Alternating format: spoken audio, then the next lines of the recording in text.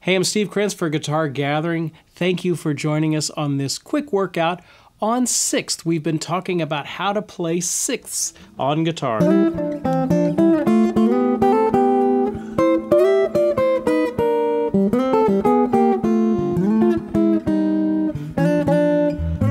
Just that wonderful sound that we can hear so commonly in guitar playing. So I've given you the forms. There's in the PDF that you can download. It's in the YouTube description down below. So if you have that PDF, go ahead and grab your guitar and let's go through these. Now, I've given you basically four different ways that you can play sixths on guitar. Of course, there's others, but these are kind of the main ones. And they go on string sets. So we're going to go with the first one, form one, on the lowest string sets first. So it starts off, we're going to use string, the sixth string and the fourth string. So we're going to start off by playing an E scale on the fourth string. So if you can, put your first finger, second finger, I don't care, probably first, let's do your first. And we're gonna, first thing we're gonna do is play an E scale on the fourth string, just going straight up the neck. So you're not allowed to use any other string. We're just gonna go straight up and down the neck, an E major scale. So we've got an E, you play it with me, then up two frets, we've got an F sharp, up two frets, we've got a G sharp, up one fret, mm. we've got an A, up two frets is a B, up two frets is a C sharp. Up two more frets at the 13th fret is a D sharp. And then at the 14th fret we have an E. All right, let's do that one more time. Go back here, down here to the second fret. This is also, also a great exercise to really solidify your knowledge of the notes on the neck, this upper, this dusty part of the neck up here. All right, so let's start on this E. Say them and play them. It's a good way to do it. E. Two frets up from that at the fourth fret is an F sharp, then a G sharp, two frets up. One fret up is an A, two frets up from that is a B, two frets up from that is a C sharp, D sharp, two frets up, and then an E at the 14th fret. All right, go back down here to the second fret. Now we're going to add the sixth beneath it. So we end up with a low G sharp on that sixth string. So you're going to still play the E with your first finger, but now your third finger is going to come over here on the sixth string at the fourth fret, and we're going to catch that G sharp. Remember, sixth and thirds are just the same thing flipped. So an E up to a G sharp would be a third, but an E with a G sharp beneath it is a sixth. So this is also in the diagram on page two, showing you which shapes to use. So this is going to be the first shape. We're going to use this one and then this third finger over here. So if we scoot that up to the next one, our first finger moves up two frets to the F sharp, the fourth fret. Second finger moves to the sixth string at the fifth fret. So that's our second shape. So we're only using two shapes. This one with the first and third finger, this one with the first and second finger. Move that exact shape up two frets. Now go back to the first shape, go up one fret, move it to the first shape. Move that up two frets. Go back to that second one and two shape, up two frets. Then another up two frets. And then we're back to the one and three shape, way up here in the stratosphere. Got an E and a G sharp. Let's do that again. Come back down here to the second fret. We have this shape with the first and third finger. We've got this shape with the first and second finger. So let's start with the first and third finger at the E. Up two frets and go to the second shape. Up two frets and stay at the same shape. Up one fret and give the first shape again. Up two frets, same shape. Then back to the first and second finger shape, up two frets. Up two frets, same shape. And then back to one and three, up one fret. Hey, can you go back down? Two and one. Back to three and one. Oh, sorry, two and one. Then three and one. Down two frets, three and one. Down one fret, two and one. Down one fret, two and or two frets, two and one and one fret or two frets down to. There it is, up and down. See if you can play it up and down with me. Ready? Go. Do it again. Next one. Next one. Next one. And, and, and. Last one. Back, down, and. Down. Other shape. Now, if this is going too fast, remember you can always come back and slow down that YouTube video. We did an E scale. This is sixth in E. Now, what if we wanted to do that, let's say, in F, in the key of F? Well, everything would be up just a half step. So there's our F. So let's do our F scale. F, up two frets. G, up two frets. One fret for the B flat. And the whole step, two frets. Whole step, two frets. Another whole step, two frets. One fret to the F. All right, let's go back down here. Let's do the six now. First and third finger. Okay, now first and second. Up two frets, first and second. Up one fret, first and third. Up two frets, first and third. Up one fret, or two frets, two and one. Two frets, two and one. Way up here in the stratosphere, three and one. Can you go back down?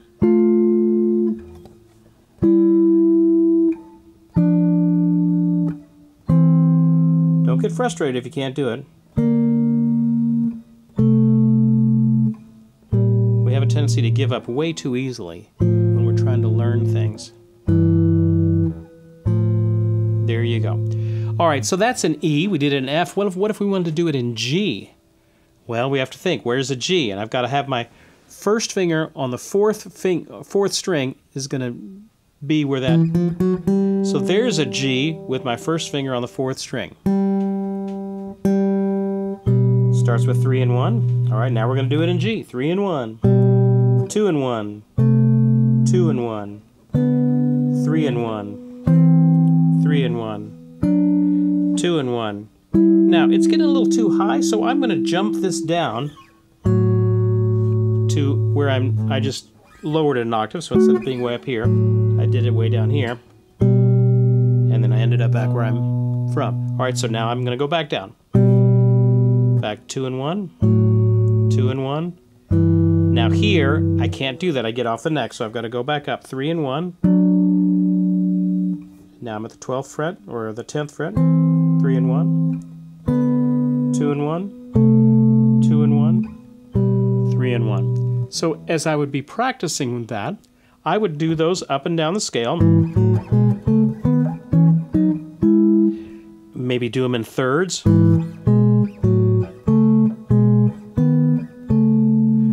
maybe, you know, start high and then go low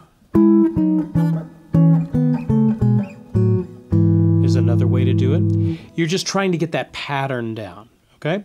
Now, that's great. Now we're going to keep that same pattern and we're going to put it onto the third string. Uses the exact same pattern. So look at, this would be form 2. So we've got a little graphic for form 2 that we're going to try and put up there. And you can we're going to do start with an A scale. So we're going to start with our third finger, or excuse me, our first finger on the third string at the second fret. Okay? And we're, let's do the scale first. So we're just going to go up and down the scale, just like we did before. And then up two frets, up two frets, up one fret, two frets, two frets, two frets, one fret, go back down, one fret, two frets, two frets, two frets, one fret, two frets, two frets. Now we're going to add that third finger on the fifth string. So notice how we always have a string in between. So now our sixth are going to be not on the fourth string and the sixth string, but the fifth string and the third string. But it's the same shape. It's the same shape. All right, so here we go. We've got one and three, then go up two frets and do one and two, two frets and do one and two, one fret and do one and three, one fret, do one and three, two frets and do one and two, two frets and do one and two, one fret and two, one and three. It's the same shape, exactly the same pattern that we just did. Okay, so let's go back down. Bend down one, two and one, down two, two and one, down two, three and one, down two, three and one, down one, two and one, down two, two and one. All right, so we're gonna keep that graphic up on the screen. We're gonna go right up and down. Here we go, ready, and one. Next one, next one, next one. Come on, this is the working out of the, the patterns. It's not just knowing, you know, understanding the concept. Let's go back down. It's actually, you have to spend some time getting them underneath your fingers.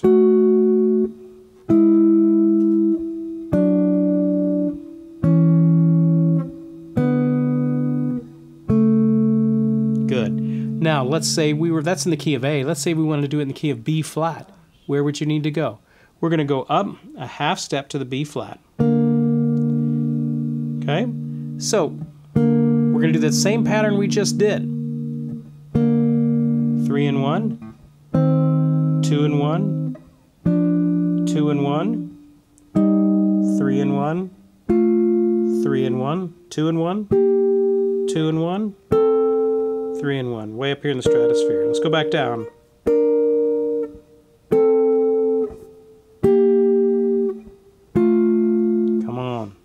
Sorry.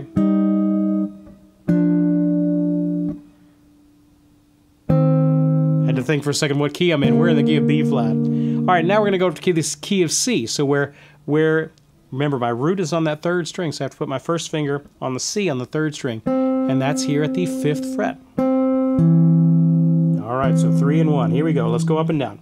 Three and one, two and one, two and one, three and one, three and one. Hey, let's let's jump down. Two and one, two and one, three and one. See, eventually you're going to have to start flipping to get to the to as we go through different keys. So here's three and one. Let's go back down. Two and one, two and one then we jump up here. Two and one. Three and one. Three and one, sorry. Two and one. Two and one. You can even keep going down. Those are great. I mean,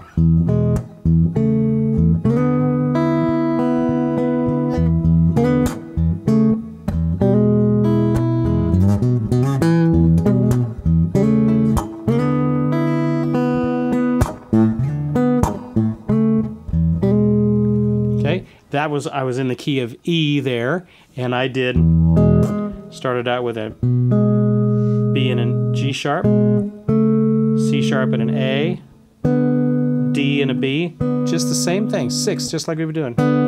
And you have an E in the low in the base of all of it.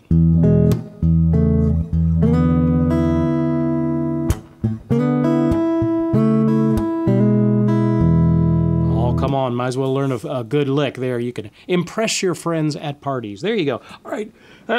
so that's the first form. it works on the lower strings, the sixth and fourth string combination and the fifth and third string combination. All right, so let's go to the next one. Let's go to the next um, form. So this would be the form two, and we're going to do this on the fourth and the second string. So we're on the second string, and so let's do the C scale up on the second string. So this would be, uh, we've got a graphic for this. This is going to be the C scale. So let's go up just the scale first. First finger. Two frets up, then two frets up. One fret up. Two frets. Two frets. Two frets. One fret. Back down. One fret. Two frets two frets, two frets, one fret, two frets, two frets. Now let's add the sixth. All right, so this is a different shape. We've got this shape, first and second finger, and then we're also going to be using a second finger, third finger combination. So second finger is always going to be on the lower string. Those are the only two shapes we'll be using in this form. Okay, but it starts with this two and one. And then we go up to the next one, two and three. And then we scoot that up two frets. Two and three. And then we scoot it up one fret. Two and one, up two frets. Two and one, up one fret. Two and three, up two frets. Two and three, up one fret, two and one. Okay, let's go back down. Two and one, then two and three, down two frets, two and one, down two frets, two and one, or two and three, two and three, two and one. Do it one more time. Do it again. Ready, go. You're doing great. Two and one. Two and one. Three and one, or two and three. Two and three. Two and one. Back down, and.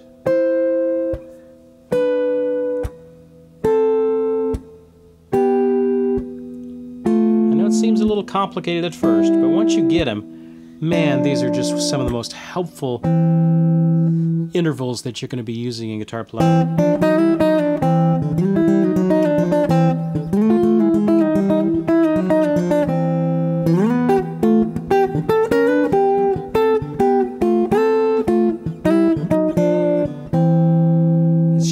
Common interval that you're going to use all the time. Okay, so we've done it in C. Let's do it in, oh, I don't know, let's do it in D. Okay, so if I had to do it in D, I have to put my first finger on the second string at the third fret now. So this is our D.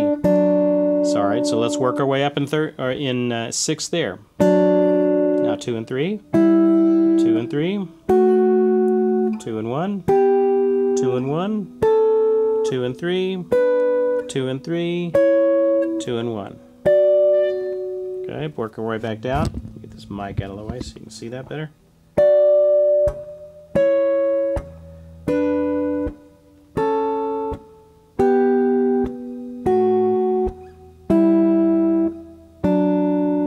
Okay. Hey, just for fun, let's just do this just a little bit. Let's do it in thirds. So we're going to go.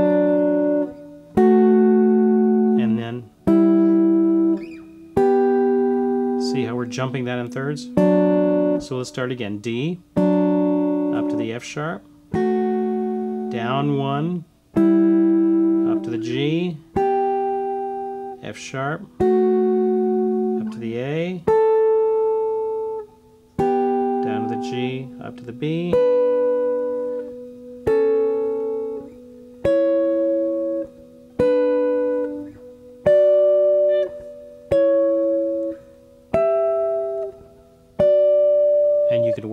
as well.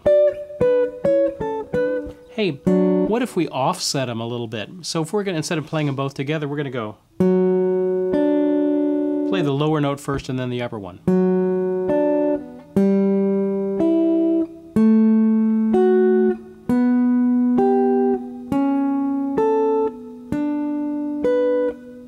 Think, focus on the pattern. The pattern is the main thing. Hey, let's reverse it. Now let's do the higher note first.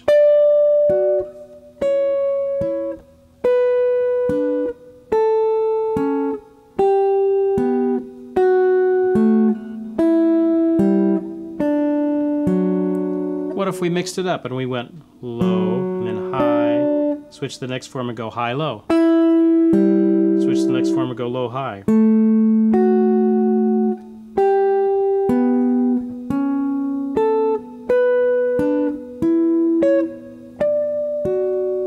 There you go. Okay, so we've done it in C. In fact, let's go back and see, and I'll show you one more trick you can do it. Let's go back to C.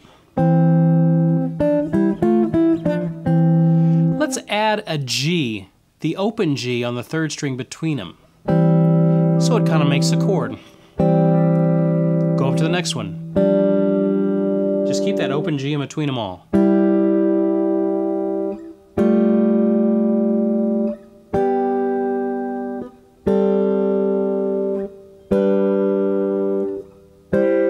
Just kind of gives us some chords on your way up. Let's keep that open G in it and go down. C scale.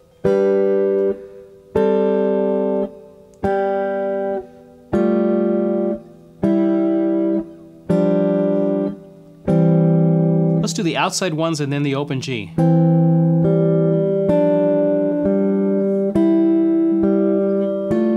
just doing the interval and then the open G in between them. So there's all kinds of little activities, little games that you can play with yourself to learn these shapes. All right, let's go to the last one. This is the same form that we did that we've just been doing on the second string. We're just going to transpose it, and we're going to be now doing it on the third and the first string. Same shape, same shape. So with all of these, you really only need to learn two different forms. The one for the lower strings and the one for the upper strings. Once you got that, then it's just a matter of finding the notes on the neck and jumping around. It's a great exercise to help you find those notes and identify what the notes are in this upper part of the neck. So let's go to the last one, and we're going to do this starting in the key of F. So we can put our first finger on the F. In fact, let's not even worry about the scale. Let's just go right to the interval. So we have 1 and 2. We're going to do F. Then we go to 2 and 3. The only thing you're plucking is the third and the first string.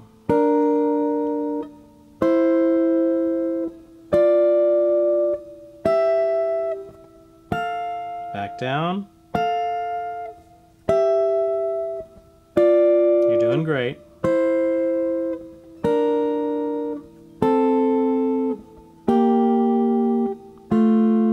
Really typical lick is to go from the one to the two and then the half step up to the three. Or maybe from the three down a half step to the two.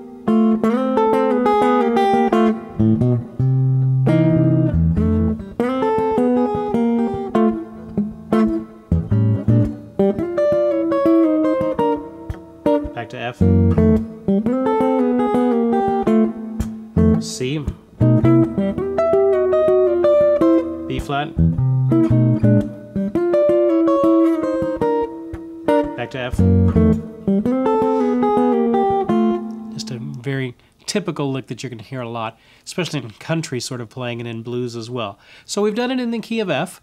Let's do it in the key of G, shall we?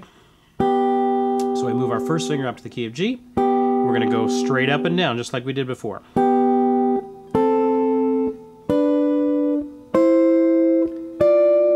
Oh, sorry. Back down.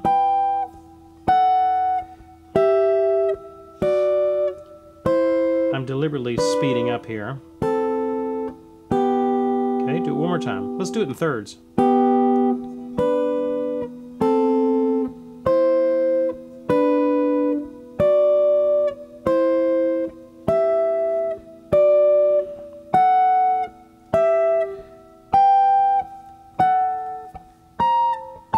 There you go. Can you go down in thirds? Down to the E, F sharp, D, E, C, D, B, C, A, G.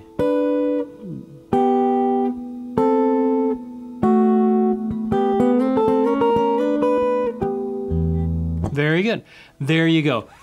Now, we had a question here. Don is saying, how can I transpose that from major to minor? Great question. All right, so let's say have to think of parallel keys. So if we were just doing G major, the relative minor in the key of uh, G major is E minor. So if I want to make this sound in E minor, I throw a low E on the bottom of it, and I play the exact same thing I just did in the key of G.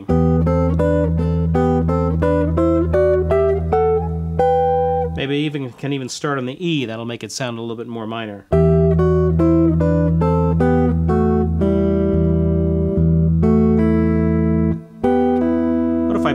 To the open E? What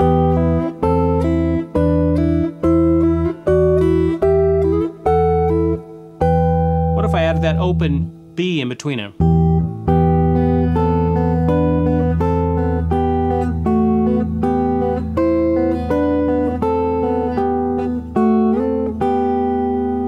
All little tricks you can do. So it has to do with, you can switch any of these to the relative minor as well. There you go. There's a little bit of workout on the 6th. I hope you've enjoyed learning those. we've in the uh, PDF that I gave you, there's ways to harmonize a major scale or, or harmonize a melody like Happy Birthday. Here's another game that you can play. Is we're gonna let's do let's do maybe do the key of F, and we're gonna jump between different forms.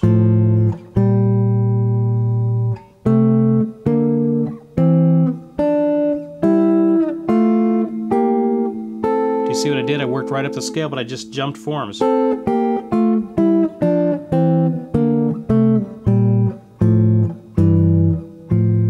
Another game that you can play of jumping in between these forms. All right, I've taken you long enough. Work on it, spend some time practicing, and don't just go through it once. If you go through something once, you've conquered it, but you haven't really learned it yet. So when you go through it over and over again, really get it underneath your fingers to where you don't have to think about it anymore, that's when you know it. Okay, it's not just going through it once. Hey, I'm Steve Krenz for uh, Guitar Gathering. Thanks for joining us. We have these lessons on, I've got them on sixth. I'll, I'll put it in the link in the YouTube description down below. We have one on thirds. We also have one on tenths. The three main intervals that you need to know as a guitar player. I encourage you to get them underneath your fingers. Hey, I'm Steve Krenz for Guitar Gathering. Keep up the great work in your learning. We'll see you guys next time.